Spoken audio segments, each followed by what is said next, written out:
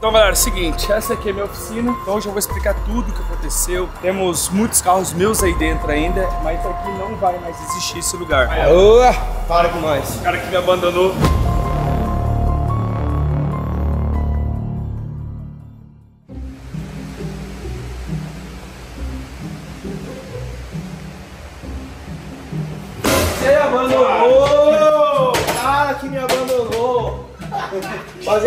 Agora vai ser. Meu braço, cara. Tô com o braço meio dolorido. Rapaziada, seguinte, vocês viram aí a intro do começo do vídeo. Eu até brinquei com a intro aí que o Renato falou que eu abandonei o Renato. Você abandonou quem? Eu, Renato, todo mundo? Não, não. Galera, vou explicar mais uma vez pra vocês, porque tem um monte de gente que você brigou com o Renato, você tretou com o Renato. Isso aí é o que, eu- é o que todo mundo pergunta pra mim, se eu briguei, se eu tretei, se teve confusão.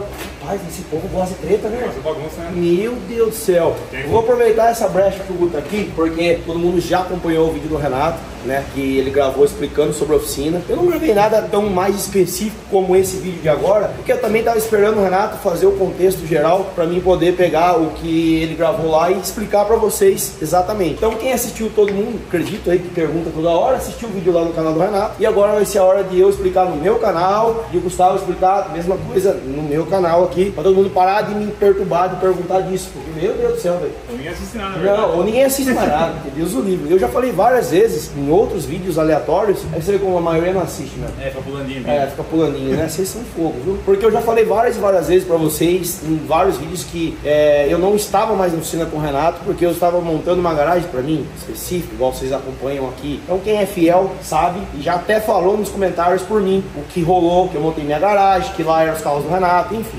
Gustavo, Gustavo.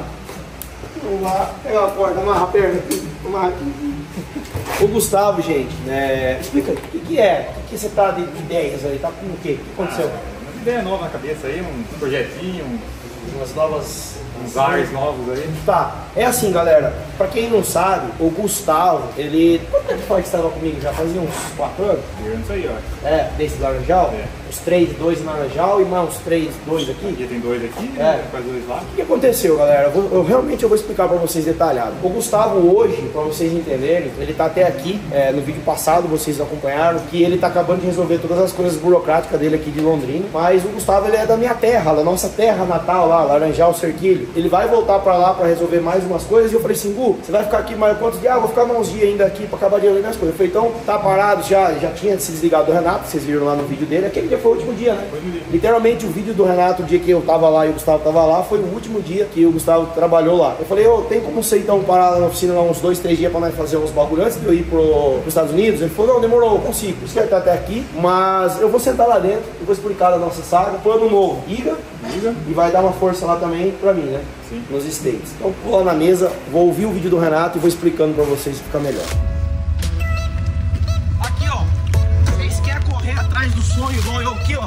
Vocês vão ser muito mais fácil. Olha aqui, o seu sonho tá chegando. Não precisa correr que nem eu corri agora, não. A Ranger mais nova do Brasil, restaurada inteira, jet ski engatado. Tá aqui, ó. Não precisa correr igual eu, não. Só faz assim, ó. Abre a porta, pula dentro dá risadinha e dá tchau na janela. Garanta já só.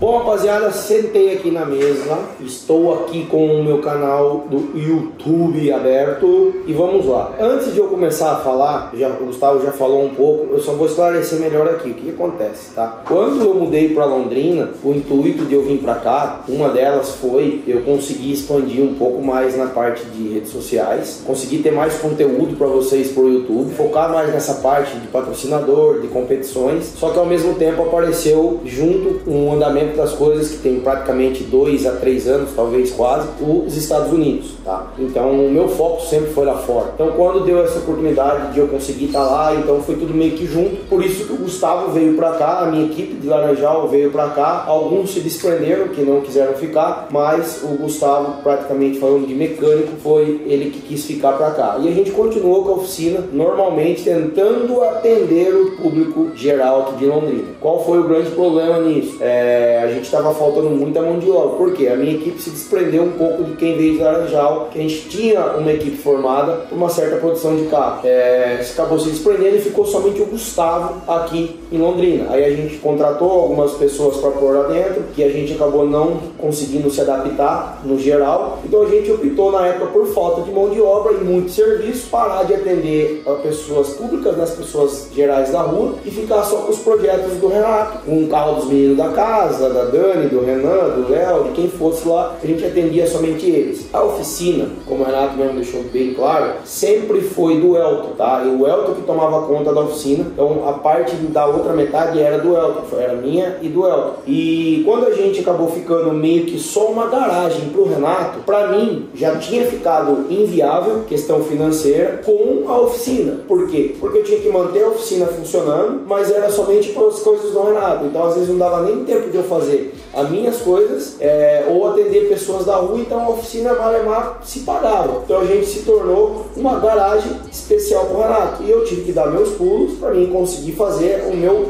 ganho que era da oficina que eu não tinha mais. Porque a partir do momento que a oficina estava literalmente trabalhando só com o Renato, ela só se pagava para manter aberta e manter funcionando lá. Ou seja, eu não tinha um ganho da oficina pro Eric. Então eu tinha que usar a oficina como gravar conteúdo, eu gravava lá, então por isso que eu não vivenciei muito mais dentro da oficina. Eu não podia tirar o meu outro parte de tempo porque eu tinha que fazer o meu extra. O que aconteceu? Eu fui focando nos Estados Unidos, eu fui fazendo meu carro, fui fazendo outras coisas lá, eu fui comecei a ajudar o Diego e foi se somando tudo isso e por isso que eu não ficava muito mais aqui, mas eu estava tranquilo porque o Gustavo estava lá na oficina. Só que começou a ficar muito inviável para mim ter que manter a oficina lá da mesma forma e eu não ter muito o recurso de ter que de conseguir usar ela para mim, porque eu tinha que fazer depois do horário, eu tinha que pagar o Gustavo depois do horário, ou se eu fosse usar o Gustavo eu tinha que pagar ele, então acabou ficando inviável. Foi aonde eu resolvi fechar a parceria entre eu e o Elton de ter a oficina aberta. Eu falei, ó, eu prefiro alugar um novo local, uma garagem para mim, poder fazer meus conteúdos, as minhas coisas. Enquanto vocês não tem ninguém aí, eu acredito que o Gustavo também, eu não vou ter condição de no início trazer o Gustavo, continuar com a minha oficina, que sempre foi o Gustavo trabalhando comigo, para cá e depois atender vocês, fazer uma inversão de papel. É, eu não conseguiria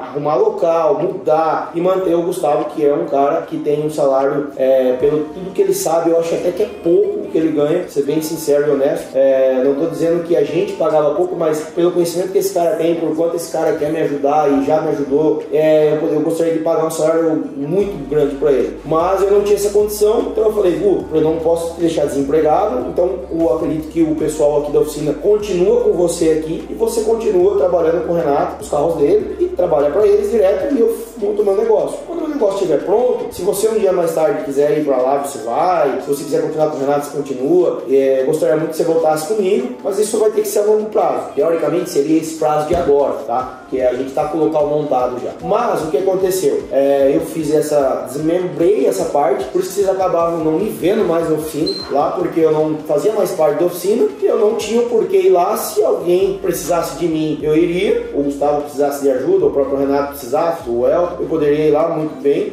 mas eu tinha que correr atrás das minhas coisas. Eu precisava fazer minha vida virar, né? Então por isso que eu acabei não indo mais, não vendo mais. É, vocês não me viram mais no canal do Renato, em algumas partes, nos desafios, que vai ficar igual era antes na Laranjal. Eu vou quando dá tudo certo. Se me convidarem, eu vou. Se não me convidarem, eu não vou. E é isso que assim que funciona. Então eu continuo em Londrina, continuo agora aqui com a minha garagem. Não está aberta a público, mas eu tenho intenção de fazer alguns projetos. Comentei no vídeo lá com o Renato sobre que eu posso atender alguns projetos dele. Até eu gostaria de terminar o BRZ que está vindo para cá. Foi um carro que eu comecei, um carro que eu gostaria de terminar, mas se não vir para mim aqui não tem problema. É, mas é isso. Então por isso vocês acabam não me vendo muito mais, porque eu estou fazendo minha correria, estou direto para os Estados Unidos. Então eu estou nessa correria de fazer minha vida rodar para cá de outras formas. Então, vira e mexe eu encontro o Renato, quando dá eu saio no vídeo, quando dá eu gravo e vice-versa. Então, assim ficou. Mas no momento de agora, o Gustavo também pediu a conta lá, depois de quatro meses lá, talvez sem eu. Eu acho que ele ficou. Ah, eu não lembro exatamente os prazos Mas ele ficou um bom tempo depois que eu me desliguei daquela oficina. Então, em torno de cinco meses, sei lá. Mas, é, por isso que vocês também não viam o Gustavo no meu dia a dia. Que ele é um cara que está acostumado, vocês a verem. Por isso que ele também não estava no meu dia a dia. Ele continuou lá atendendo os carros do Renato. Inclusive, ele que montou o Supra inteiro lá do Renato, lá que talvez o Renato compra. Eu nem sei que está mais a situação do Supra. Mas, enfim, é, então tá dessa forma. Aí o Gustavo pediu a conta agora recentemente. E aí ele tá com os novos planos, as novas é, planos de, de, carro, novos planos de local. É, a gente já tinha formado a parceria antes de ele pedir a conta para ele estar em todas as etapas nos Estados Unidos ajudando tanto eu quanto o Iga. Então a gente formou, juntou essa equipe, então já estava certo. E aí acabou que ele preferiu sair para tentar novos ares. Então ele se desligou de lá. Como eu falei, ele está aqui me ajudando esses dias, mas ele vai passar umas férias, ele vai ficar um tempo lá nos Estados Unidos lá passeando lá, não sei se a família vai junto ou não, mas de ato ele vai comigo já para ajudar eu a montar o meu BRZ e ajeitar outras coisas lá. Demais coisas eu vou pôr no vídeo do Renato aqui para vocês entenderem. Então vamos para a tela aqui, ó. Renato Garcia, vamos lá pro vídeo que ele fez para me tentar explicar alguma coisa que talvez em vídeo vocês não entenderam. Vou pegar a parte aqui que ele só fala comigo que é mais fácil de eu falar com vocês. Ó, o Supra que eu falei pra vocês, que o Renato, o, Gustavo montou inteiro. Aí aqui, aí aqui é a hora que eu chego. Calma, que esse foi a intro, né? Eu não abandonei. Eu já expliquei o porquê. Ele brincou aqui, me abandonou, mas na verdade o Gustavo tomou frente de todos os projetos, como eu falei, e eu tava atrás das minhas coisas para poder sobreviver, né? Aí aqui ele brincou e tal. Outra oficina, né? Na verdade eu fiz uma garagem.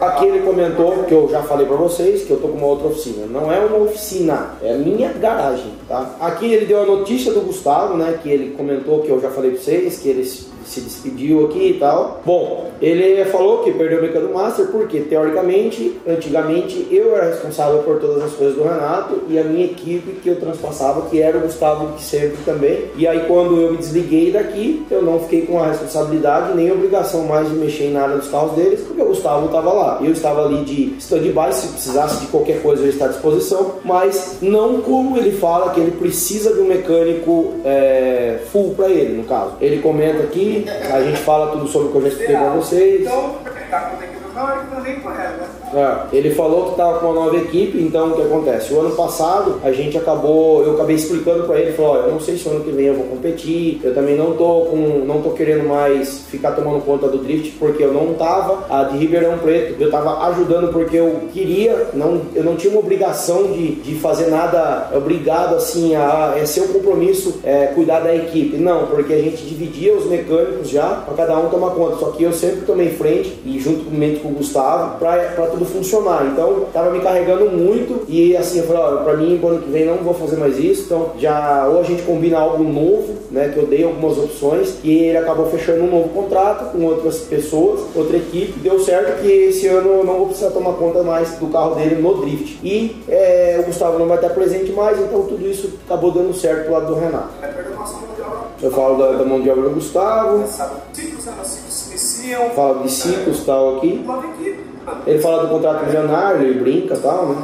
Eu recebi uma oferta do contrato. É, ele fala do contrato milionário aqui, ele brinca no vídeo e tal, a gente se brinca. Aí, beleza, galera, aí nada além aqui, que ele faz o restante da brincadeira. Mas o que acontece é o seguinte: é, resumo da história. Eric, por que, que você não, não continua sendo mecânico do Renato? É, no barracão novo, até que ele já mostrou lá que ele alugou. Por que, que você não continua fazendo todos os carros do Renato? Agora que vocês devem estar se perguntando, por que, que o Renato não, talvez no vídeo aqui não, não falou momento algum para eu ir trabalhar para ele, nem nada. Porque eu já avisei, já falei aqui nos vídeos, inclusive aqui, que é, eu, eu não, não estou aqui como uma oficina mais hoje, estou com outros planos, então eu não posso tomar conta da oficina do Renato ou ir lá trabalhar com o Renato, porque não é esse meu objetivo. Meu objetivo sempre foi manter a oficina funcionando, mas eu não podia estar dentro dela. Esse foi o objetivo que eu vim para cá, senão eu não tinha montado a sociedade. Então a ideia da sociedade foi: eu consigo pôr mais uma pessoa para tomar conta de lá e eu deixo a oficina funcional lá e não depende mais de mim, porque a mão de obra que eu tinha era o Gustavo. Se fosse pra mim somente mudar pra cá, eu só mudava e continuava com o Merlin Laranjal. Mas a ideia era tirar o pé da oficina e focar em outras coisas que eu estou focado. Então, por isso que eu ainda agora também não quero fazer essa, essa união de tentar pegar tudo do Renato ou ir trabalhar com o Renato. Não, porque eu tô com outros planos. Então, por isso, às vezes alguém está se perguntando, é, mas você não vai mais. Não, eu posso atender um carro ou outro com o Renato no tempo que eu puder, se ele quiser. Lógico, Eric faz o BRZ? Faço, vamos entregar tal dia. Dá, dá, beleza. O Eric tem um tal carro aqui, consegue mexer? Se ele quiser mandar para mim, tiver vontade de mandar, tô aqui disponível 100%. Agora, ele até tá procurando um novo mecânico no vídeo dele lá, ele falou, assim que ele encontrar, eu acredito que os projetos deles vão rodar também. Então, eu vou estar à disposição do Renato, eu estou à disposição do carro do Léo, eu continuo mexendo no carro do Léo quando ele precisa. No carro do Renan, cadê o carro do Renan? O carro do Renan tá em outro parceiro que fez para ele uma parceria de, de mão de obra é, com ele, então eu estou ajudando o projeto por trás, é, lá falando direto com o Renan, com o pai do Renan, com o mecânico que está lá, então eu estou ajudando o projeto para continuar. Então,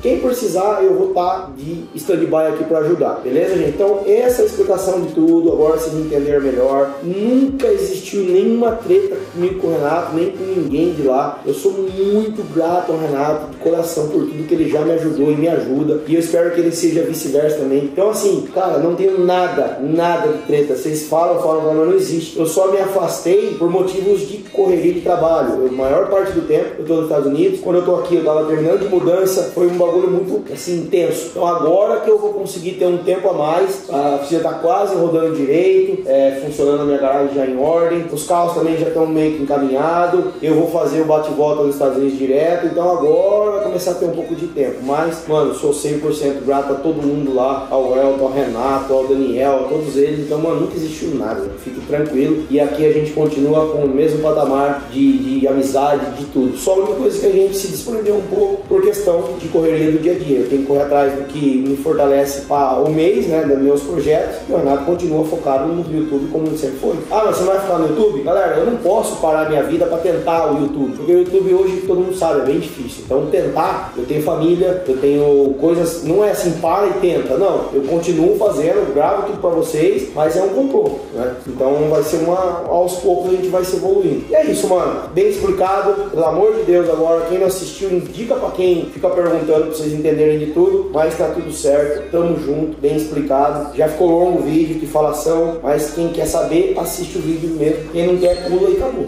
Tamo junto, gente, é nóis. Até o próximo vídeo da saga do nosso S13. Valeu, tchau, obrigado.